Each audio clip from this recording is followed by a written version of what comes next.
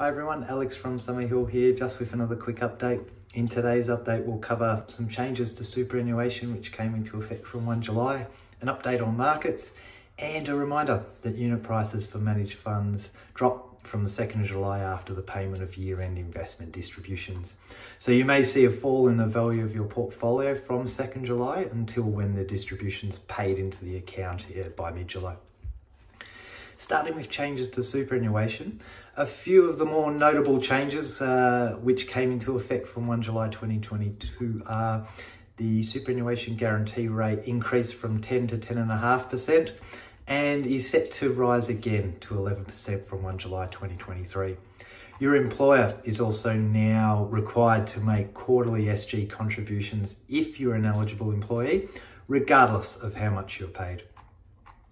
Moving on, the eligibility age for making uh, a downsizer superannuation contribution reduces from age 65 to 60.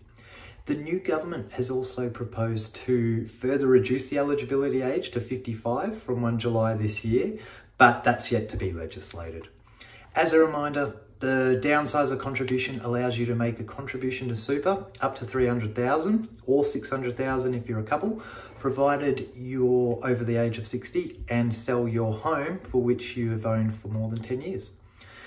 Another change is that if you are under age 75, you're now eligible to make non-concessional after tax personal super contributions, including the ability to use the bring forward rule, even if you're not working. However, you will still need to meet the work test to make tax deductible personal super contributions after age 67. Uh, these are positive changes as it will allow more flexibility to increase wealth in the tax effective superannuation environment. Finally, the government has extended the temporary 50% reduction in the minimum drawdown rates for account based pensions and similar products until 30 June 2023. This will allow those with an account-based pension to draw a lower minimum amount from their pension, which ultimately maximizes the wealth that can be retained in uh, the tax-free pension environment. So it can be quite useful for those with assets to draw upon outside of their pension for, for living needs. Now we will obviously assess whether you should be adjusting your strategy to take advantage of these changes. And we'll discuss this uh, specifically with you at your planning meeting if it's appropriate.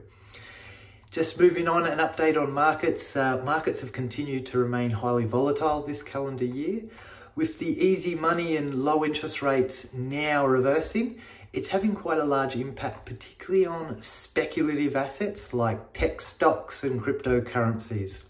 I mean, Bitcoin's down 70% from its highs last year. And just quickly, in relation to cryptocurrencies, uh, the exposure of major banks and mainstream investors to crypto is, is relatively low. So it's very unlikely that these large falls we're seeing in that area of the market uh, will result in a, a GFC style moment. As you know, we do not recommend crypto investing for our clients, given trying to identify the fundamental value of such assets is just next to impossible.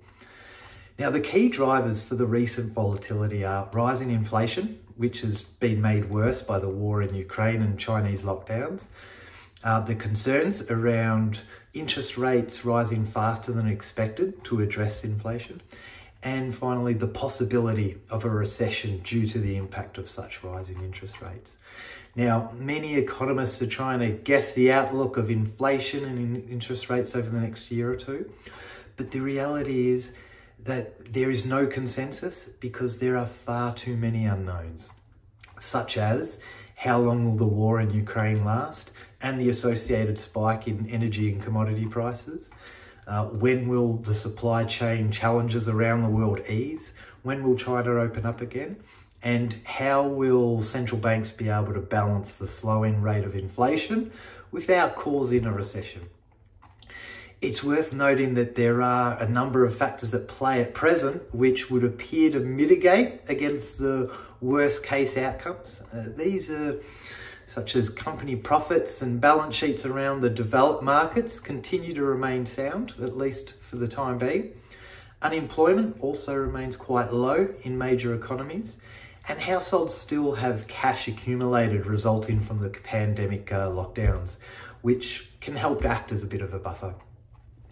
It's still far too early to say that markets have bottomed and things may get worse before they get better. Uh, now, market falls are stressful and no one likes to see the value of their investments fall, uh, but there are some key things to keep in mind. Uh, one, the, uh, the interest rates rising, this is part of a return to normality. Uh, the past few years, we've seen some of the lowest interest rates in recorded history. Rates were always going to rise again with the unwinding of the interventions during the COVID pandemic. And as a result, there was always going to be some sort of volatility with that unwinding and correction. Uh, two, periodic share market corrections are normal and they're a part of investing in shares. In the last decade, we've seen four market pullbacks of greater than 20%. While these falls can be painful, they are healthy as they can help limit some of the excessive risk taking. Three, uh, when shares fall in value, they can offer an attractive buying opportunity given the higher long term return prospects. And finally, while share uh, prices have fallen, dividends have not. Australian shares are offering a very attractive dividend yield compared to bank deposits, uh, despite the rising deposit uh, interest rate environment. The drivers for market pullbacks are always slightly different. And although history may not repeat itself, it does tend to rhyme, and so is with share market falls. Uh, this means that from the point of fundamental investment principles, uh, the response for what you should do uh, may sound quite familiar, uh, but in these volatile times, I guess we wanted to reiterate a couple of the points. Short term forecasting is fraught with danger and it should not be the basis for a long term investment strategy. So it's best to adopt a well thought out long term financial strategy and stick to it. Focus on your personal goals and what you can control. Practice smart, well thought out diversification, diversification across asset classes, countries, and securities.